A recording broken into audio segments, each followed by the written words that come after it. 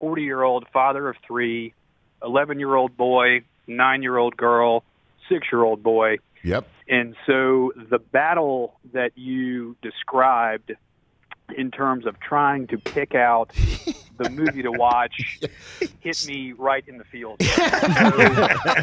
right? You you know it. You know where I'm. You you know what I'm talking about. Well, e- even right down to the whole, you know, image of winding my way through Blockbuster in high school. You've always got your bud who's staying the night with you, or you're staying the night with him, and you're you're trying to figure out. And then there's there was always the rush to the new releases, and Yeah. then there was that pile of return movies up front that you could uh, that you could flip through. And, Yes. Yeah, but so so let me ask you, what is what what's your process? Are you? I mean, are you just saying, okay, guys, it's it's six thirty, it's Saturday evening.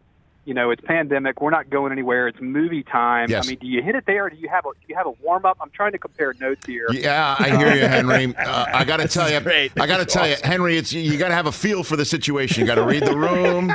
You know what I mean? You got to. It's it's just you know sometimes uh, any any play caller will tell you that sometimes you push the right button, other times you think you got a touchdown, but you don't. I mean, I wish I had a uh, I wish I had a catch all for you.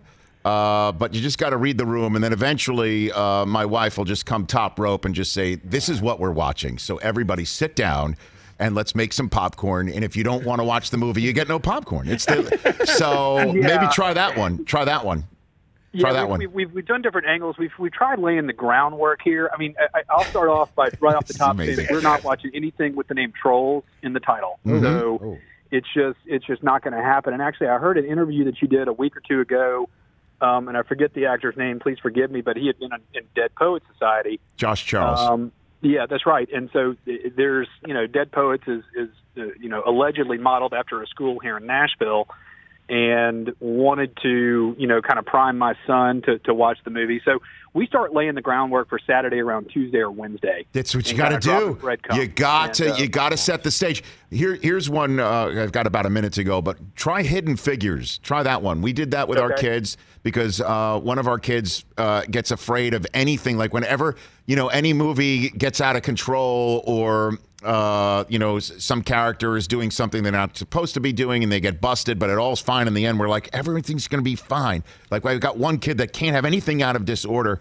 Hidden Figures is phenomenal, and it's also good for the parents. So try that one out.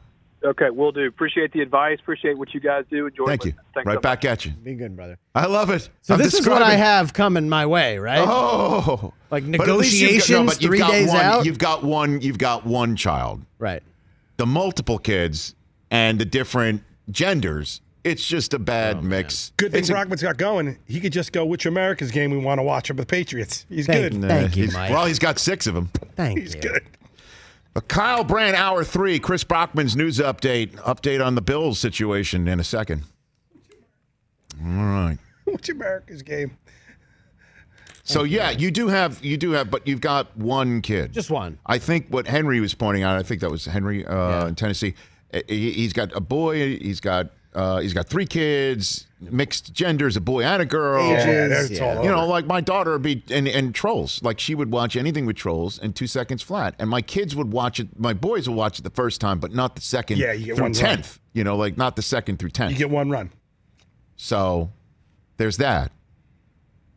Can I be there when they watch Jaws for the first time? You know what, Mike? Because I'll be I'll be probably at two thousand by that point. and they'll look at you. But but the problem is that it, we got to get them to the point where Brockman has. I mean, Brockman's from a different generation than my children, but he still has the same thing. It's too old.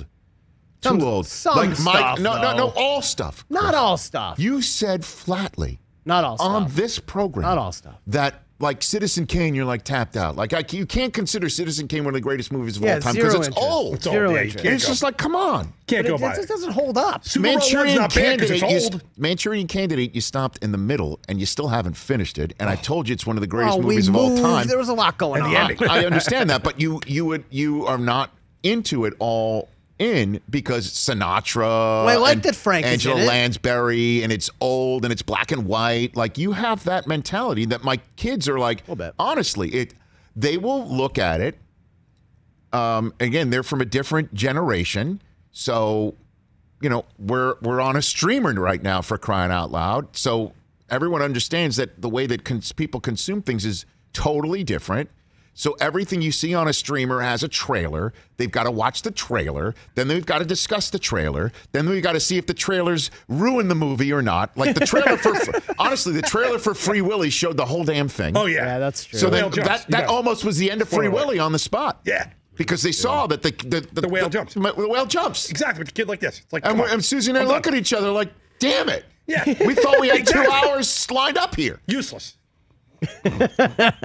And then I have to tell him, wait, this guy, Michael Madsen, you see in the movie, wait till I show you something totally different. Hey, you watched all the way to the end. Thanks for that. Watch more right here.